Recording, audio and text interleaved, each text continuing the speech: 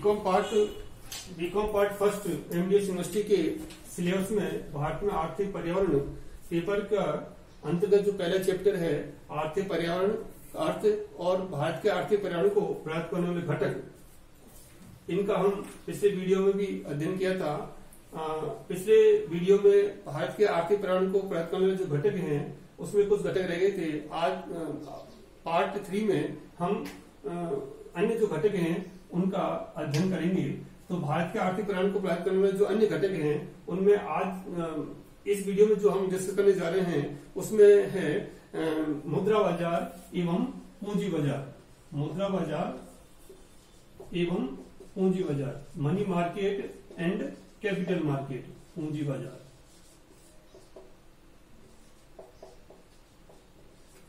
Money market किसे कहते हैं? पूंजी बाज़ार किसे कहते हैं? पहले इसका हम मीनिंग देख हैं। पूंजी बाज़ार में अल्पकालीन समय के लिए मुद्रा का लेन देन किया जाता है अप टू वन ईयर और पूंजी बाज़ार में एक साल से अधिक अवधि के जो ट्रांजेक्शन होते हैं, उनको हम सम्मिलित करते हैं। जिस राष्ट्र में मुद्रा बाज़ार सुदृढ़ होगा चेक ड्राफ्ट बिल, इनका लेन देन ज़्यादा होगा, उस देश में आर्थिक गतिविधियाँ ज़्यादा होंगी। और मान लीजिए मुद्रा बाज़ार विकसित नहीं है लोग अशिक्षित हैं, बैंकों का विकास नहीं है, अल्पकालीन ट्रांजेक्शन चेक विनिमय के माध्यम से नहीं करते हैं ड्राफ्ट लेन देन कम होता है तो उस देश में आर्थिक गतिविधियाँ उतनी नहीं बन पाएँगी।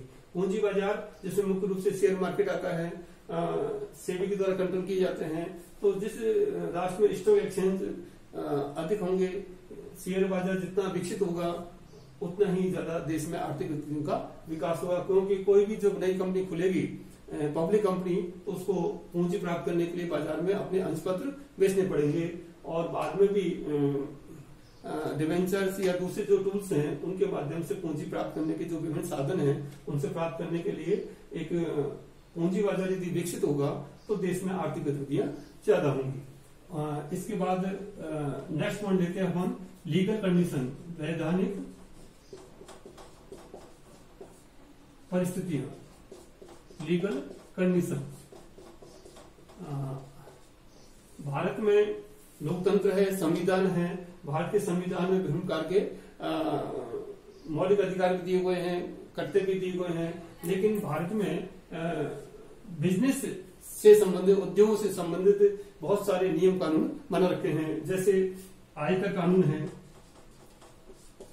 बिक्री कर है फैक्ट्री एक्ट है पार्टनरशिप एक्ट है श्रम से संबंधित लेबर लॉज है इंडस्ट्रियल लॉ है कंपनी एक्ट है पार्टनरशिप एक्ट ऐसे बहुत सारे भारत सरकार के द्वारा उद्योग धंधों को व्यवसाय को नियंत्रित करने के लिए कानून बना रखे हैं। अब हम आयकर का ही एग्ज़ाम लेते हैं, यदि आयकर की रेट बहुत ज़्यादा होगी तो लोग आयकर की चोरी करेंगे। लोगों को नहीं देंगे, जैसे पहले मान ली eighty five percent income rate थी तो लोग कर की चोरी की बढ़ावा ज़्यादा होता था। नाइनटीन नाइन्टी वन के बाद भारत सरकार ने इन करों में काफ़ी रियायत दी है। जैसे कस्टम ड्यूटी थी, काफ़ी कम की, आयकर की दरें धीरे धीरे कम करती हैं। और जो पहले वेट, मोट वेट, इनका हमने अवसर किया। और आजकल तो एक पूरे देश में जीएसटी लागू करते हैं गुड्स एंड सर्विस टैक्स। सारे अधिकांश कर खत्म करके और केवल जीएसटी कर दिया है। तो इससे भी व्यापार उद्योग धंधों का विकास होगा और आर्थिक गतिविधियाँ ज़्यादा पनपेंगी कहने का से हुआ कि जितनी ज़्यादा लीगल कंडीशन होंगी, जितने प्रतिबंध होंगे, उतना व्यापार के ऊपर विपरीत प्रभाव पड़ेगा और जितना इनमें छूट दी जाएगी या सुविधाजनक बनाया जाएगा, उतना व्यापारी उद्योगपतियों को लाभ होगा तो वो अपना बिज़नेस आसानी से कर सकते हैं। इसके बाद हम लेते हैं व्यापार चक्र ट्रेड साइकिल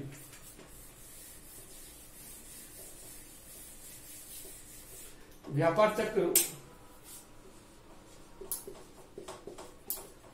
का अर्थ है तेज़ी और मंदी। कभी तेज़ी की स्थिति होती है और कभी मंदी की स्थिति होती है। और तेज़ी, मंदी दोनों ही खराब होती है। तेज़ी में क्या होगा कि व्यापारी को लाभ होगा उद्योगपति को लाभ होगा, लेकिन सामान्य जनता को नुकसान होगा। मंदी में उद्योगपति को नुकसान होगा, बेरोजगारी फैलेगी तो दोनों ही स्थिति खराब है। नहीं तो बहुत ज़्यादा तेज़ी होनी चाहिए नहीं बहुत ज़्यादा मंदी होनी चाहिए। आ, एक सामान्य स्थिरता के साथ यदि विकास होगा तो आर्थिक गतिविधि अच्छा प्रभाव पड़ेगा। और यदि बहुत ज़्यादा उतार चढ़ाव आएँगे तेज़ी मंदी घटनाएँ बहुत ज़्यादा होंगी तो उद्योग धंधों व्यापार के ऊपर उसका अच्छा प्रभाव नहीं पड़ेगा। अब इसके बाद हम नेक्स्ट पॉइंट लेते हैं।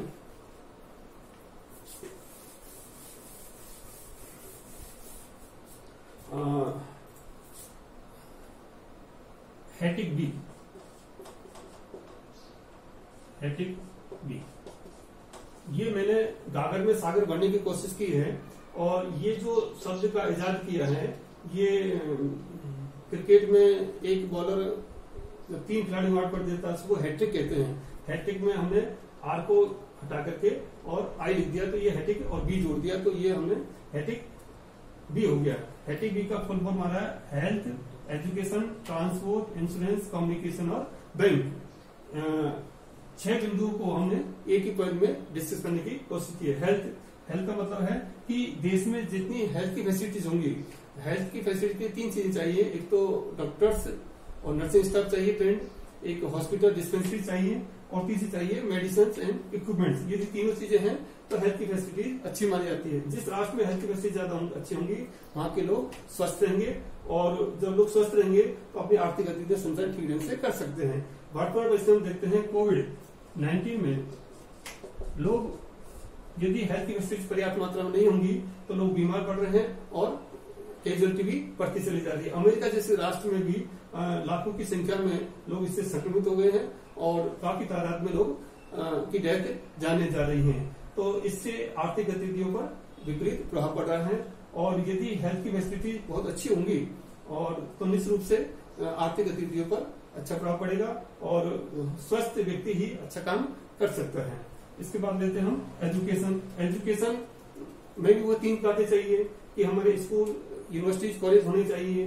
अच्छी फैकल्टीज होनी चाहिए, और स्टूडेंट्स भी होने चाहिए। इंफ्रास्ट्रक्चर पूरा होगा तो हम एजुकेशन पर्याप्त मात्रा होंगे जिस राष्ट्र में एजुकेशन अच्छा होगा, और जिस तरह की एजुकेशन दी जाएगी, उसमें उसी तरह की आर्थिक गतिविधियाँ विकसित होती हैं। जैसे मान लीजिए किसी राष्ट्र में इंजीनियरिंग में सॉफ्टवेयर या कंप्यूटर की नॉलेज ज़्यादा दी जाती है तो सॉफ्टवेयर इंडस्ट्री चलोगी। भारत में जो बेंगलोर है, वो सॉफ्टवेयर का हब बना हुआ है।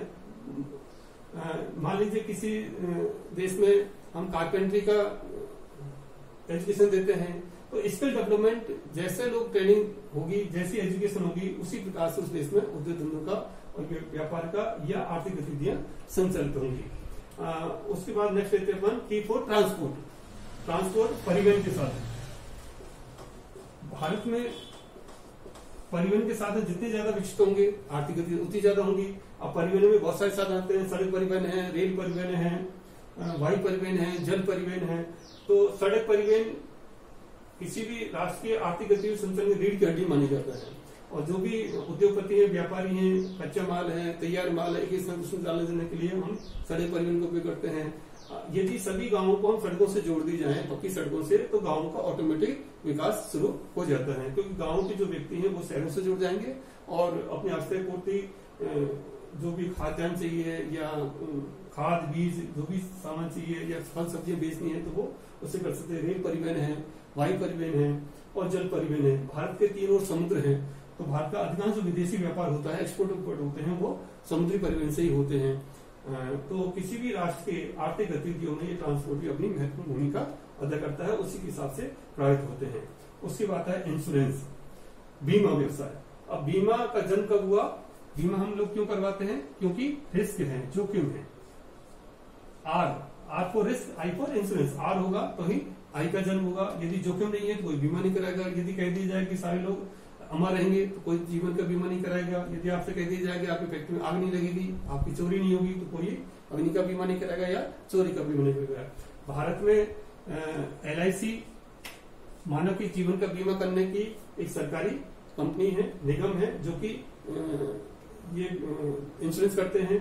अब जो बिज़नेस है, उद्योगपति है, उनको भी चोरी होने का, आग लगने का, या और दूसरे रिस्क लगी रहती है तो उसको भी जो जीआईसी है भारत में जनरल इंश्योरेंस कॉर्पोरेशन की अन्य जो सब्सिडी कंपनी है, उनके माध्यम से उनका बीमा करवाया जाता है। जब उद्योग व्यापारी को ये पता है कि यदि कोई रिस्क हो भी जाएगी तो हमें बीमा कंपनी से कुछ कुछ मुआवजा मिल जाएगा तो वो निसंकोच होकर अपने व्यवसाय कर सकते हैं। किसान है फ़सल बीमा योजना लागू कर रखी है तो किसान को से फ़सल यदि खराब हो जाती है, प्राकृतिक संकट में किसी के कारण से तो उनको बीमा कंपनी द्वारा सहायता मिल सकती है। लोग व्यक्तिगत दुर्घटना बीमा कराते हैं।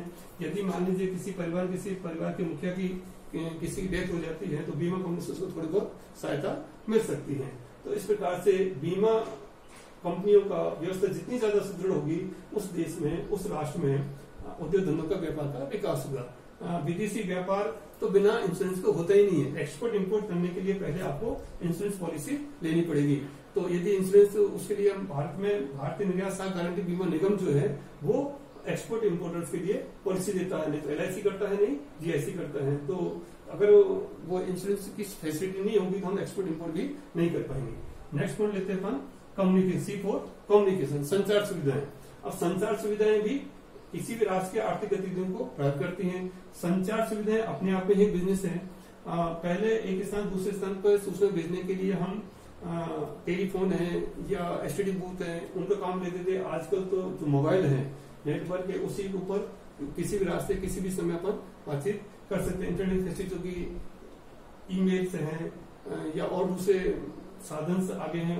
आज जो हम, ये ऑनलाइन टीचिंग का जो कंसेप्ट है, वो भी इस संचार सुविधाओं के माध्यम की देन है कि इस कोविड 19 की महामारी के अंतर्गत भी जो एजुकेशन इंस्टीट्यूशन बंद पड़े हैं, हम ऑनलाइन टीचिंग के माध्यम से घर बैठे ही इस संचार सुविधाओं के माध्यम से ही हम कर रहे हैं। तो ऑनलाइन टीचिंग का जो है, उसके हिसाब से भी जो लॉकडाउन पीरियड चल रहा है, वहाँ पर भी अपने कर्मचारी जो है, घर बैठे ही ऑफ़िस से काम कर रहे हैं। उद्योग धंधे व्यापार गतिविधियों का विकास हो रहा है।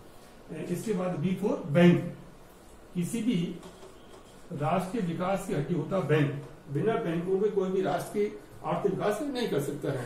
भारत में जो बैंकिंग स्ट्रक्चर है, सबसे ऊपर है RBI reserve bank of India जो नोट छापता है बैंकों का बैंक है, बैंकों का भगवान है, और जितने भी बैंकिंग गतिविधियाँ हिंदुस्तान में होती है, उनका सबका कंट्रोल आरबीआई के द्वारा की जाता है। उसके बाद कुछ कॉमर्शियल बैंक हैं आरआरबी हैं कॉपरेटिव बैंक हैं, जो कि ग्रामीण व्यक्तियों को, शहरी व्यक्तियों को बड़े बड़े उद्योगपतियों को ऋण सुविधाएँ देती है, जिससे वो काम कर सकते हैं जैसे हमारे देश में आईडीबीआई है तो बड़े बड़े जो उद्योगपति हैं, उनको इंडस्ट्रियल डेवलपमेंट ऑफ़ इंडिया के द्वारा उद्योग को लोन प्रदान किया जाता है। ऐसे ही मान लीजिए हाउसिंग डेवलपमेंट के लिए नेशनल हाउसिंग बैंक है, या, और दूसरी जो स्मॉल स्केल इंडस्ट्रीज़ हैं, उनके लिए सिड भी है S I DB small industry development bank of India तो हमारे देश में बैंकिंग कॉमर्शियल बैंक से प्राइवेट सेक्टर में भी है पब्लिक सेक्टर में भी है, और विदेशी जो बैंक है, वो भी हमारे देश में है तो बैंकिंग ढांचा जितना ज़्यादा सुदृढ़ होगा, उतने ज़्यादा देश में आर्थिक गतिविधियाँ होंगी। मोदी सरकार आने के बाद देश में मुद्रा योजना है, या दूसरी बैंक ने बहुत सारी ऐसी योजनाएँ चला रखी हैं, जो कि किसानों के लिए, या गरीब व्यक्तियों के लिए, या जो मजदूर, छोटे उद्योगपति हैं, उनके लिए बहुत सारी ऋण सुविधाएँ दे रहे हैं। इस लॉकडाउन पीरियड में भी विभिन्न बैंकों के माध्यम से अपनी जो इंटरेस्ट रेट थी, वो रिड्यूस की है और अधिक मात्रा में इन उद्योगपतियों, व्यापारियों को ऋण सुविधाएँ दी जा रही हैं, जिनसे कि उद्योग व्यापार का तेज़ी से विकास हो सकता है।